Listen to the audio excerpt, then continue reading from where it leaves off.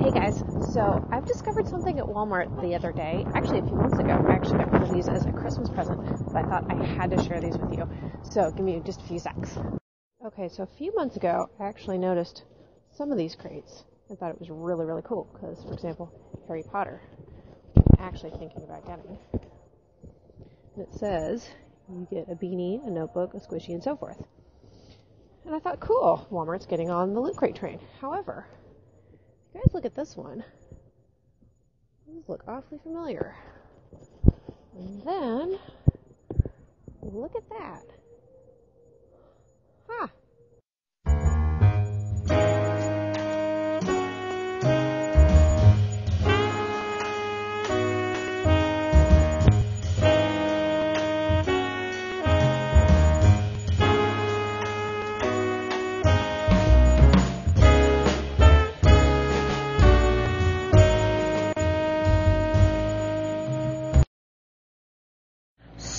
What was that? So like I said in the video, the really short video before the intro, I found this a few months ago and was really kind of excited. Now, I used to sell those little wax melter things where you melt the wax and it makes the room smell. And I was really thought they were really cool. And then Walmart started selling them, which is what they do.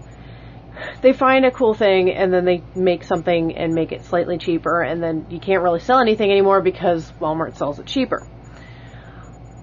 Well, so I just figured Walmart's making their own Loot Crate type, you know, subscription box. There's a whole bunch of different ones.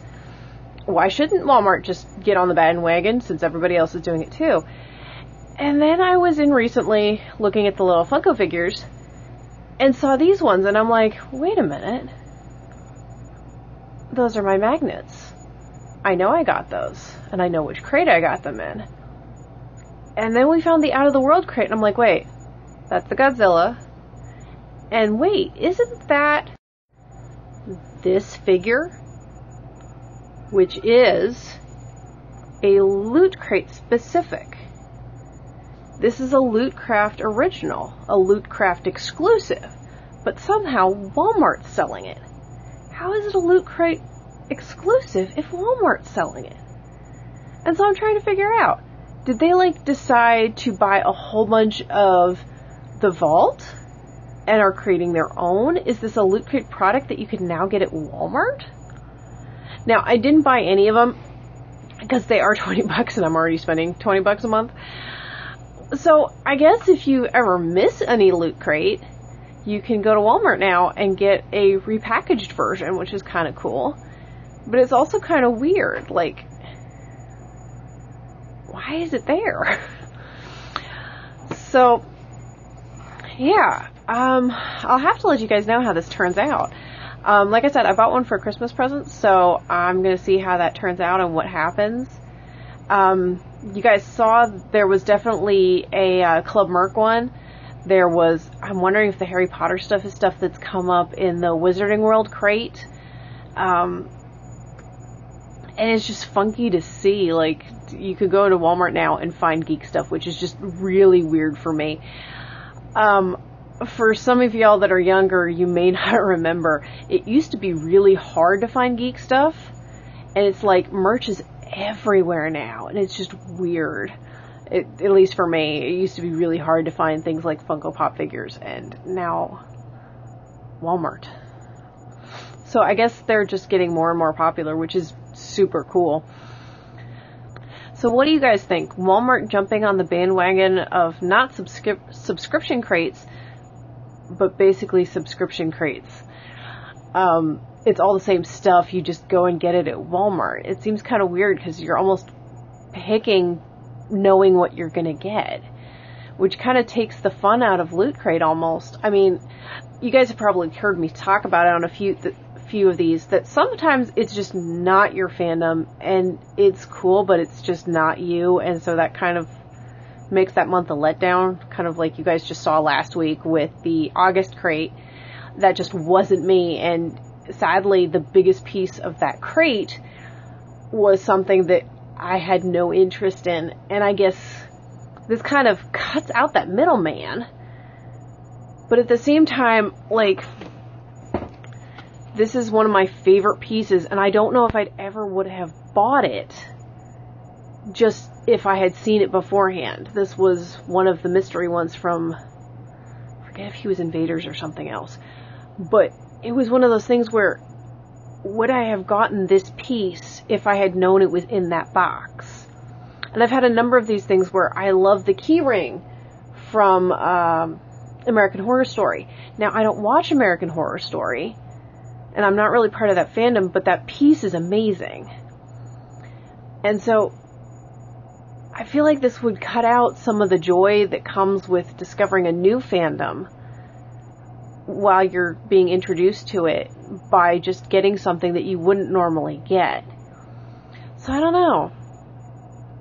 I guess on the other side, if you do skip a crate or decide to skip a crate, you can always find it later.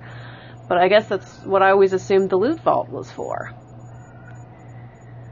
So, how does that work now if they're selling out stuff they have extra of? Is it stuff that's just been stocked up? Is it stuff that didn't sell during the sales? Cause like, he was in a crate, and I can't imagine why he was not bought up. But now they have a whole bunch of these, and again, well, I guess this is from a specific company, so it's not a Loot Crate exclusive. But now you can get him at Walmart. But why get him at Walmart when you can already get them on Amazon? I don't think it's any cheaper. I guess theoretically I did see in the Harry Potter crate that there is a mystery item in there. So I guess you might be getting something you wouldn't necessarily know, but that's still one item out of eight. So, uh, so, I don't know. I don't know what to think about this. It was just a little weird.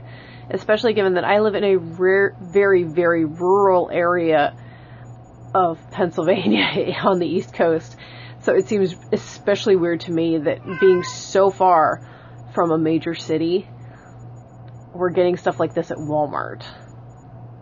So I don't know if this is going to be a continuous thing. I know they've tried different things.